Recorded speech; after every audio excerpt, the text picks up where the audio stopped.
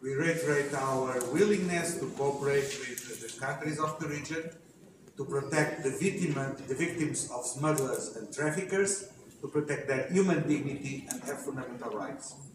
Ние сме тука исто така спремни да ги заштитиме жртвите од шверцот со луѓе и од нелегалната миграција, потенцијалните жртви, ранливите групи, а, посветени во тој правец и помагаме на државите.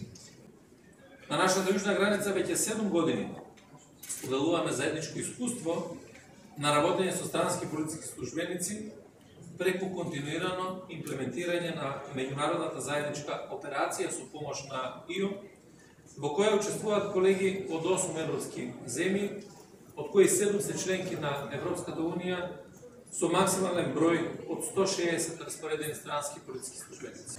Mogu reći da smo govorili o temi koju ne možemo niti spriječiti, niti u potpunosti riješiti. Zemalja konačnih destinacija migranata ovim problemom ne može da se bavi sam.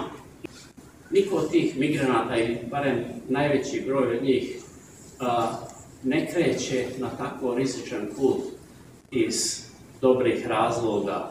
Mnogi od njih su taj svoj put završili u vodama a, Mediterana ili po vrletima Balkana, ne došavši do svojih konačnih destinacija. Te informacije sa zemljama regiona i na adekvatni način pratimo kako legalna, tako i sva ona nelegalna kretanja migranata u zemljama regiona Europske unije. Naša zadaća je da povedena zajednička registracija i identifikacija na мигрантите, како што би може преку неја а, подобро да ги следиме овие а, движења и да се работуваме подобро со државите од регионот. Kao i 90. godina kada je na svojoj teritoriji prihvatala ljude koji su pogođeni ratnim dešavanjima, tražili svoje utočište u Crnoj Gori, uradila to isto i sada.